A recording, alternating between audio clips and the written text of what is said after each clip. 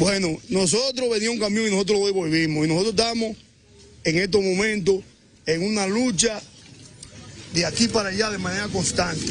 Porque lo justo es que cerremos todo. Aquí nadie tiene en contra de tampoco. Lo que pasa es que la soberanía nacional y la seguridad nacional está por encima de todo. Y si cerramos los pobres, también los ricos deben cerrar. Noel, en vivo para CDN, ¿cuáles son las próximas medidas que tomarán ustedes acá en este, frente a este parque industrial si continúa el paso de vehículos con productos para exportación hacia Haití?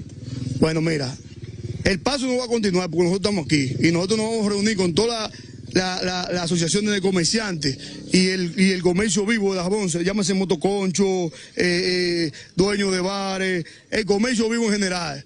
Y si ellos siguen abiertos, vamos a llamar a protestar porque no es, no, no, no es posible que ellos estén abiertos y nosotros cerrados, toditos. Entonces, nosotros llamamos al gobierno a que sean sensatos y las autoridades y llamen a quien tengan que llamar para que cierren esa planta, porque la frontera está cerrada para todos. Extraño que haya continuado hoy, porque ya se ha dispuesto un cierre total de, de la frontera por todos los puntos. Por, eso dije ayer, cuando me entrevistaban, que había que ver cuál es el cierre total. El cierre total es para nosotros, los comerciantes pequeños, los pobres, pero los ricos siguen trabajando y nosotros estamos exigiendo al gobierno que cierre esa planta y que cuando nos abra, nos abra a todos de manera justa, porque es una injusticia que nosotros no trabajemos y ellos trabajen.